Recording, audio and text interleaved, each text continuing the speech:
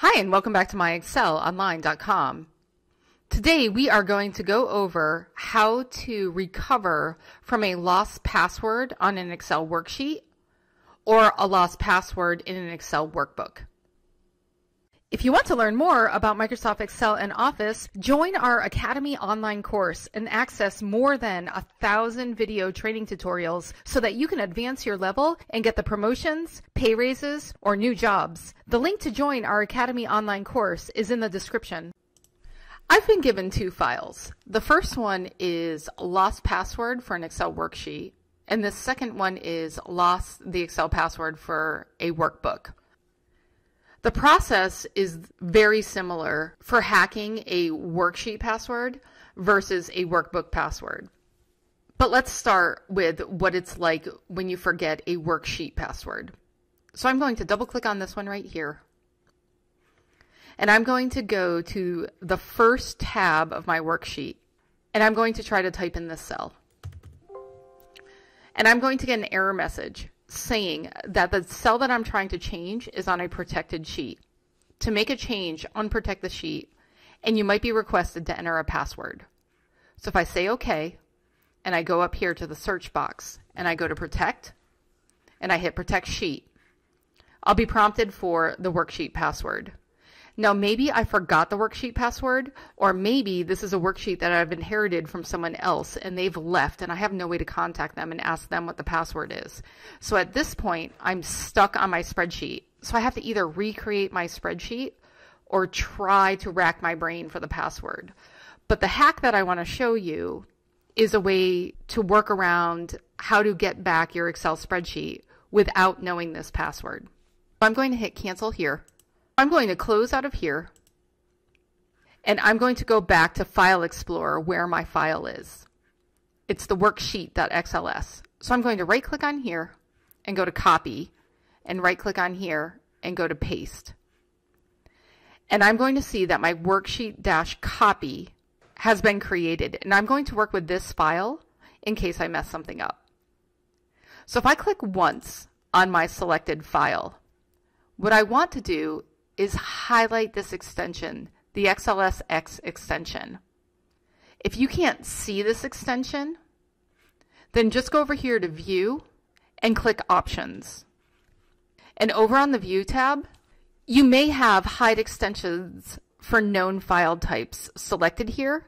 Just make sure you uncheck that checkbox and hit OK. So on this file right here with the copy, I'm going to click to select it pause for a second, then click once. And then I'm going to highlight the XLSX, leaving this period, and I'm going to type in zip instead and hit enter. And then I'm going to be prompted that if I change this, it might become unusable. Just say yes. And then notice that the icon here has been changed from an Excel icon to a zip file icon.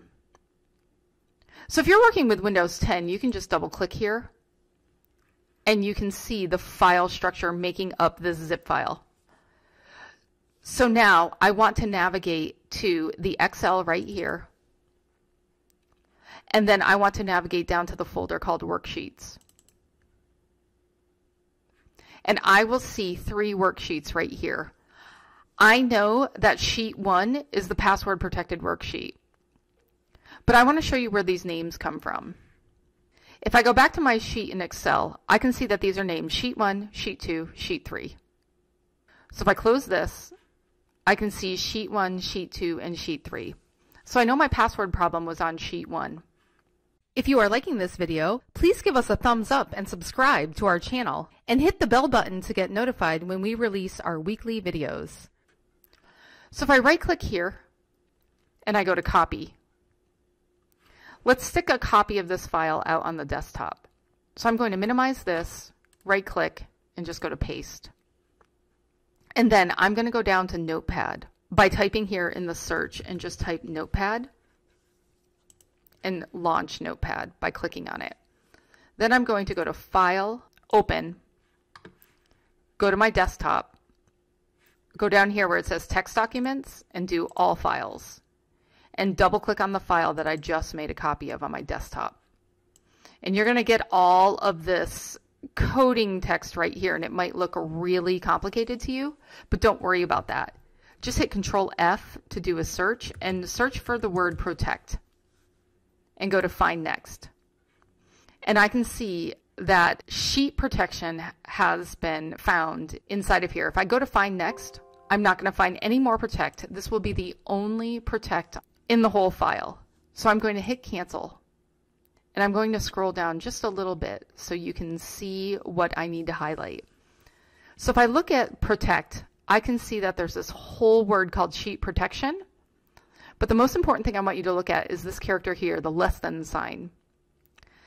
This is the beginning of a tag inside of XML. So from the less than sign, just click your mouse here, hold down the left mouse button, and drag until you see the end of that tag, which is this greater than sign right here. So you're going from the less than sign to the first greater than sign. So highlight all of that and hit delete on your keyboard and then just go up to File, Save. And then close this file. And then right click on the file on your desktop and go to Cut and go back into File Explorer and right click here and go to Paste and you'll be asked if you want to replace that file. Just hit Copy and Replace and then go back, hit the back button in File Explorer, one level, two levels, three levels, until you're back where we started.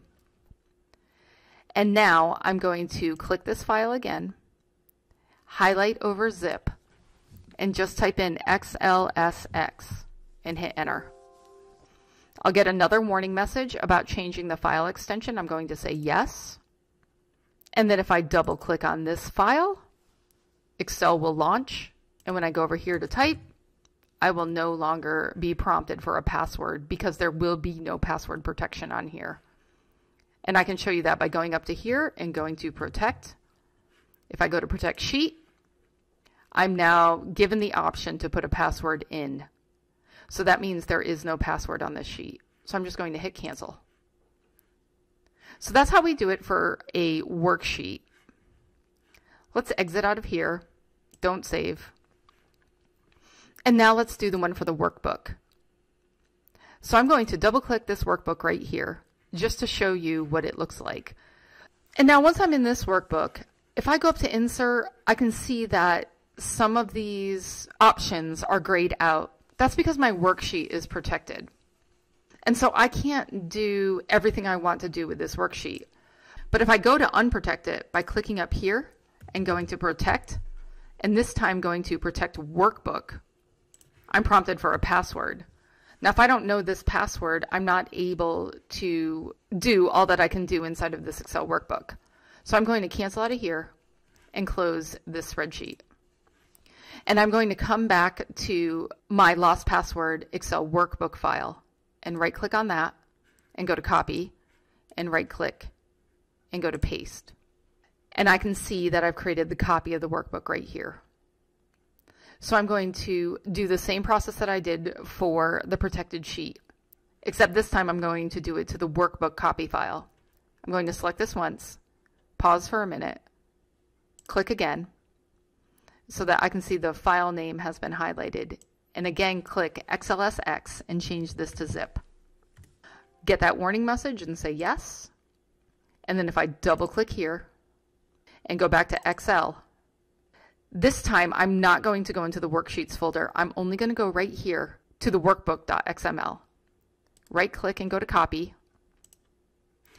Let's minimize this and right click on my desktop again and go to paste. Then if I go down to my search I can go back to Notepad and I'm going to go to File, Open, go to my desktop, go down here to All Files, and double click on that XML file. So this time when I do Control F to do a search, instead of looking for protect, I'm going to look for the word lock and say find next. And I can see this lock structure right here has been highlighted. If I find next, I probably won't find another lock. So it's the only one. So I'm going to cancel out of here. And this time we're not going to delete anything. For lock structure, let's highlight the one to make it a zero. Go to File, Save. Close this. Right click here. Go to Cut. Go back to File Explorer. Right click here. Go to Paste. Copy and replace. And this time we're going to go back one, two levels only. On this Excel workbook copy, just click once, highlight the zip, change this back to SLSX, hit enter, and say yes to the warning message. And then double click on this file. And now when I go up to insert, I can see that I can insert a table and these things are no longer grayed out. So hopefully this has been a quick tutorial to teach you how to override the Excel worksheet password and the Excel workbook password. If you have any questions or comments, please leave them below and we'll get back to you. Thanks for watching and see you again next time.